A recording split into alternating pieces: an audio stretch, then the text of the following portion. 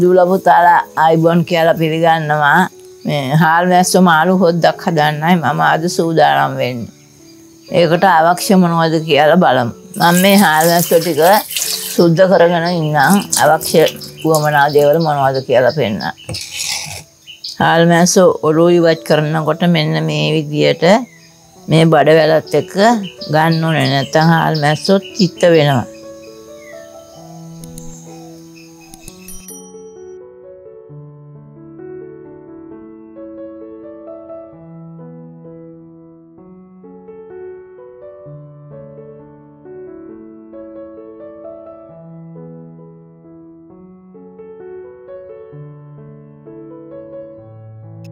මේ ඔලු කඩාලා සුද්ධ කරගත්ත හාල් මැස්සෝ හතර පාරක් විතර හෝද ගන්න ඕනේ මේ විදියට හෝද ගන්න ඕනේ.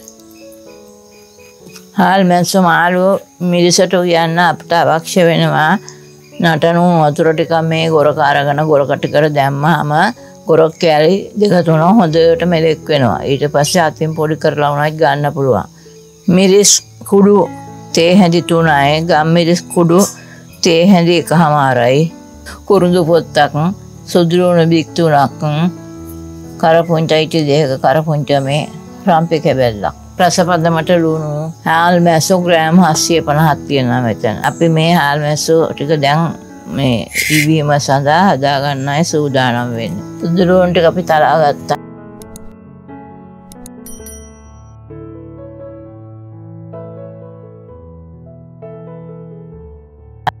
ගත්තා අපි වීම සඳහා වළඳට මාළු ටික දාගන්නවා.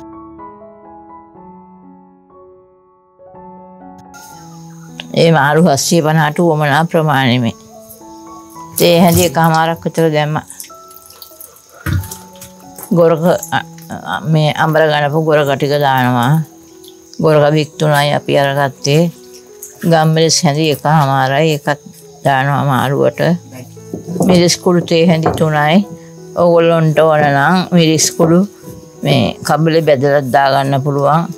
මිරිස් බෙදලා හැදුවෙත් කමන්නේ මිරිස් බදින්න නැතුව කුඩු දාලා හැදුවෙත් කමන්නේ අපේ ගෙදර බබෙක් හම්බෙන එක්කෙනෙක් ඉන්නවා. එයා කන්න අකමැති මිරිස් බෙදලා. ඒකයි මේ මිරිස් බදින්න නැතුව දැම්මේ. සුදු ලුණු ටික එකතු කර ගන්නවා කරපුංච ටික එකතු කර ගන්නවා රම්පි ටික එකතු කරගත්තා.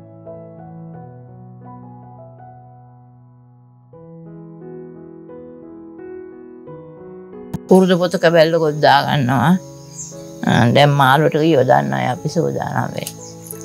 ඇල්ලතුරෙන් මාළුව යොදා ගන්න.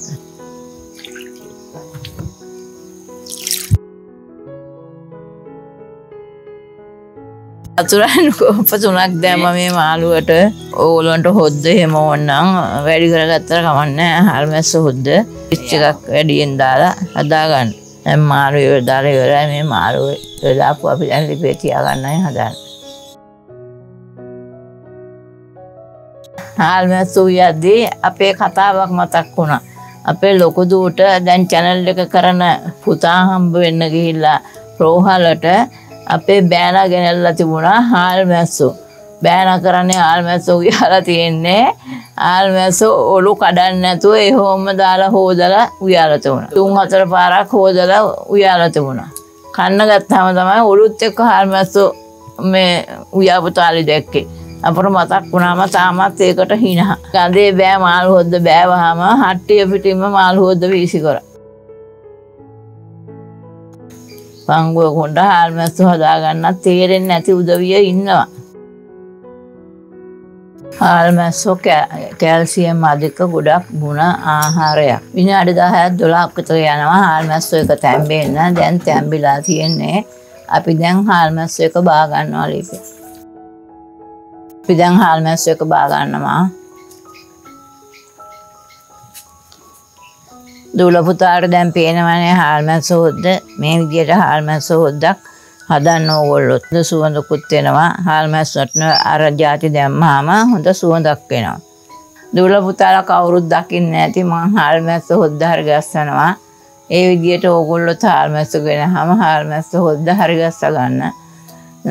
හරි ගස්සන් ඒ විදියට කාලා බලලා එහි ඇති ගුණ දොස් මාහට කියන්න. දුල පොතාලට බුදුසරණයි ආය චැනල් එකෙන් පසුව අපි හමුවෙමු